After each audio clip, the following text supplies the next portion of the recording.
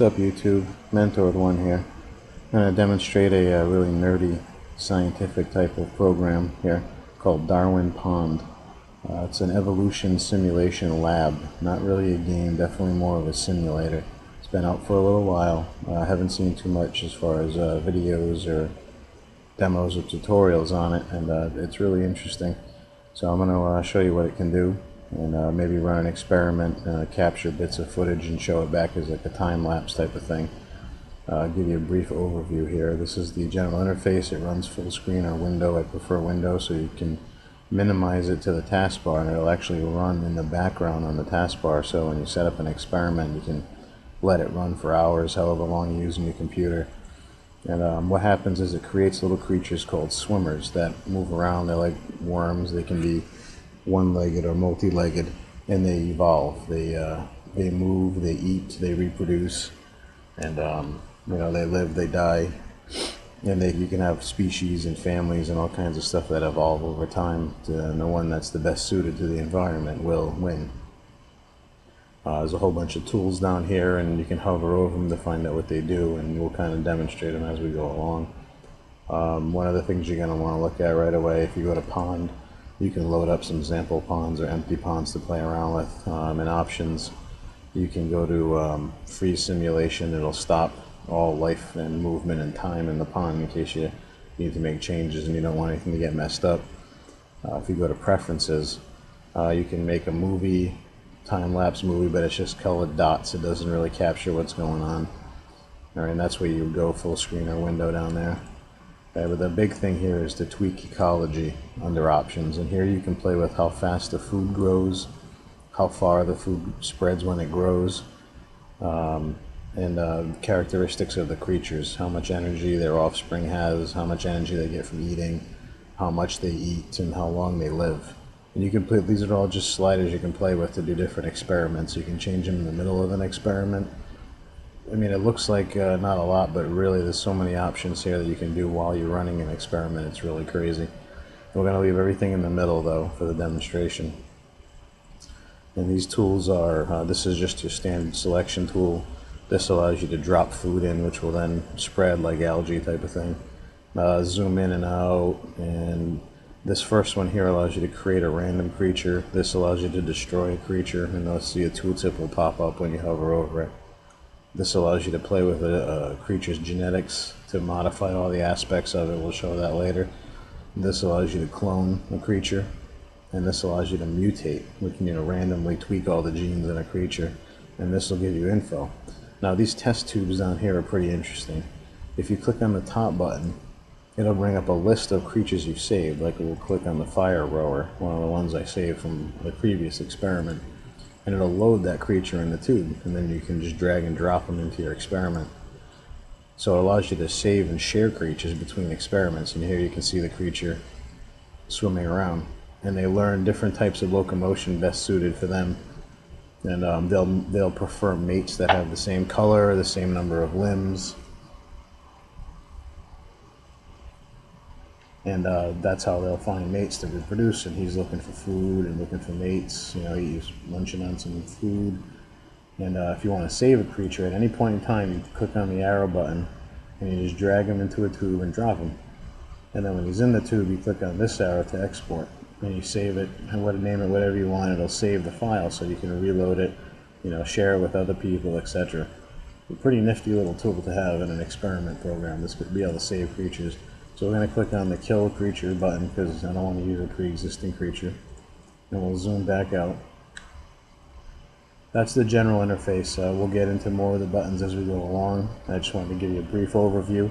So I'm going to set up an experiment and um, let it run and come back and record clips from it periodically and put it together in a long movie so you can see over the long term what it looks like. Um, it, time goes by here, it's like 100 time ticks for every second of real time or something like that.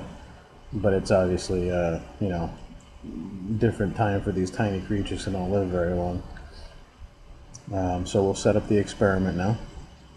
Alright, so what I'm going to do is go to this first button to create a random swimmer. Okay? Um, and I'm going to freeze the simulation.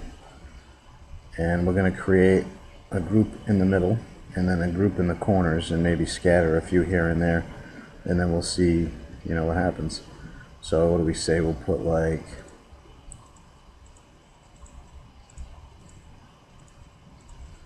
put like eight creatures in each corner.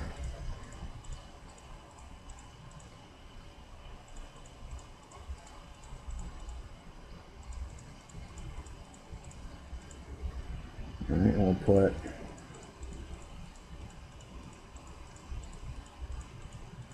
sixteen in the middle. And then we'll put like little groups of fours.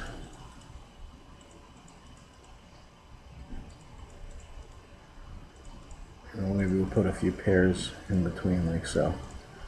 Now that may seem like a lot, but since we're randomly generating swimmers, it's all random genes.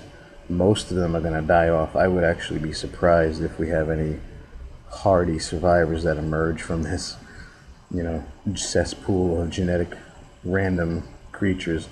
But we'll, uh, we'll, we'll unfreeze it, and we'll take our magnifying glass. We'll zoom into the middle here. As you can see, um, there's not really anybody that's standing out that's moving very well. There's some serious locomotion problems going on here. See all these multi-limbed freaks everywhere. You got this dude swimming backwards.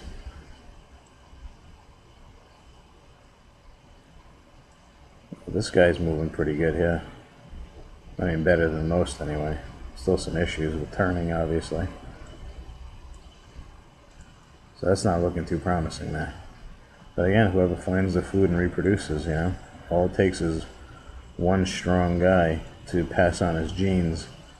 Uh, most of the time, and uh, I'm not sure how the genes work, but um, there's definitely certain ones that are carried over and some creatures will have a very strong sort of genetic predisposition where they'll always pass on their genes no matter what kind of creature they mate with. Their offspring will always look like them. And there are others who have like passive genes who the genes will always look like the one they mate with rather than themselves. So there's a lot of variabilities. Now, if I remember correctly, the gene file is like um, I it's like a 10 decimal place number, and there's 16 of them, 16 different genes, and each gene has like 10 digits to it uh, that are all variances that regard movement, um, color, mating preference, you know, swimming speed, angles. Now I'll show you uh, while we're looking at these freaks of nature here. We'll zoom into one and we'll, we'll click on this one. That's a syringe. Alright, we'll click on this dude who's swimming backwards. And that brings up the, the window where you can play with their genes. And now you can just, I don't, I'm not sure what all of these do. They just kind of, they kind of label them like turning gene, how well they turn, um, colors, you know, joint angles, number of limbs. You know, like if you take that up, you can give them three or four limbs and keep them with two. And there's segments per limb. You can make the limb shorter or longer. Um, the rate, to the amplitude, the limb flip, the straddling, like, you know, straddling, you know, it looks like it separates the legs a little bit.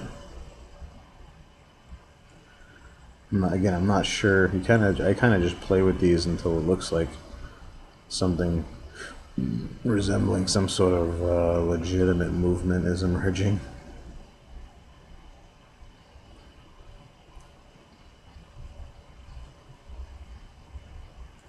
Oh, looks like we might have something now. I'll click over here to make him turn and see what happens. So you can click on a spot and they'll face, he's not turning very well in that direction. Let's turn this gene slider a little bit and see what happens. Oh, that's all messed up now.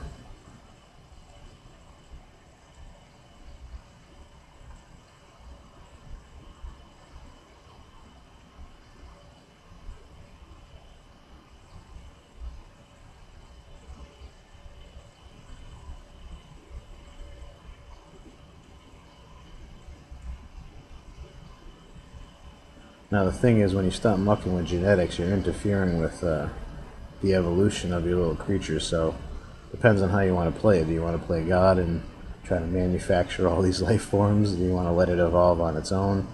I don't think I helped this guy at all, so I'm not too worried about that. Oof, see, all of them do different things, so you just have to kind of experiment and see what you can come up with. So we'll just uh, we'll just accept that. I'm gonna I'm gonna make him a solid purple. There we go.